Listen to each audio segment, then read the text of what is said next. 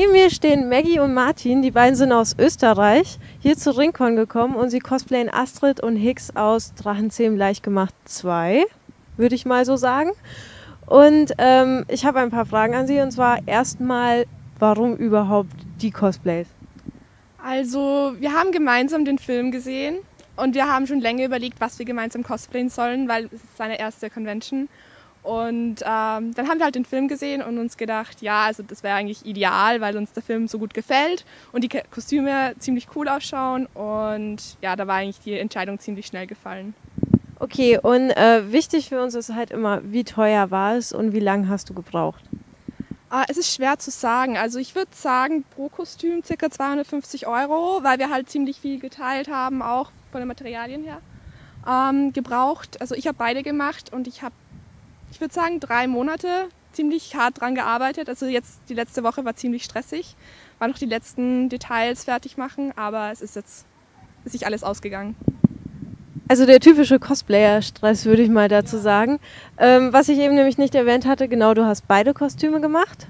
Also, was war dein erstes Cosplay und wann hast du angefangen? Also mein erstes Cosplay war vor einem Jahr. Äh, habe ich auch auf der Ringcon Cersei Lannister aus Game of Thrones gecosplayt ähm, das war ganz anders als diese Kostüme jetzt, weil wir nur mit Stoff gearbeitet haben und nur genäht wurde und jetzt äh, keine anderen Materialien wie Warbler oder so verwendet haben. Und ja, das war auch schon die Antwort, oder?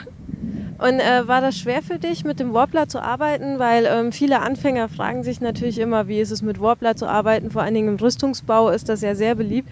Und hast du ein paar Tipps oder äh, wie war es am Anfang überhaupt mit der Heißluftpistole, sich vielleicht nicht gerade zu verbrennen? Ich habe sogar, wo ist er? ich ist am Unterarm.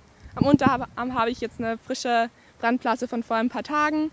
Ähm, ja, also ich habe mir viele Tutorials online auf YouTube und so natürlich angeguckt und ich habe den, Boden, hab den Boden daheim verkokelt aus Versehen. Also nicht zu lange auf eine Stelle halten. Ja, er hat fast unser Haus abgebrennt. Ähm, aber sonst, es war eigentlich relativ simpel. Also die Schulterpanzer sind relativ einfach eigentlich gegangen. Also, also ich bin eigentlich begeistert von dem Material. Und ja, also das einzig Schwierige war halt diese, ähm, der Brustpanzer, weil das nur eine Schicht ist, weil wir es halt ein bisschen flexibler halten wollten, damit es sich gut anziehen kann. Und das ist halt schwer, dass man die Form richtig ähm, halten kann, weil es halt so unstabil ist. Also es sieht auf jeden Fall super aus. Ich hatte es noch nicht gesagt. Ich finde, das sind zwei ganz tolle Cosplays. Und ähm, hast du in der Zukunft schon was vor? Willst du mehr was mit Rüstung machen, weil du jetzt so denkst, ja, Rüstung, die sind so cool, unbedingt? Ja, also ich spiele mit dem Gedanken, nächstes Jahr wirklich äh, eine große Rüstung zu machen. Und zwar Brienne aus Game of Thrones in ihrer Rüstung. Ähm, ja, also mal schauen, ob das was wird, aber es wäre auf jeden Fall sehr cool. Also da würde ich mich drauf freuen, wenn ich das dann wiedersehen dürfte nächstes Jahr. Ähm, sonst bist du ja noch auf keinen Conventions in Deutschland gewesen, wenn du dir noch eine aussuchen dürftest.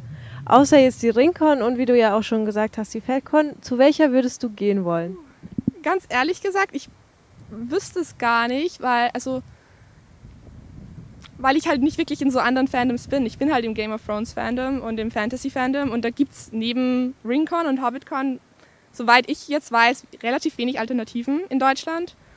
Und ja, vielleicht nach London mal, das sind immer recht coole Conventions oder ich war auch schon mal in den USA auf einer Convention, also San Diego Comic Con natürlich, also ja.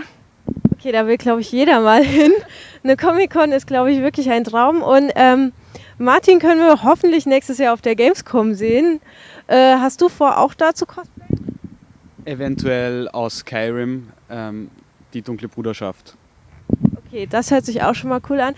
Dann bedanke ich mich ganz herzlich bei euch beiden und damit sind wir raus.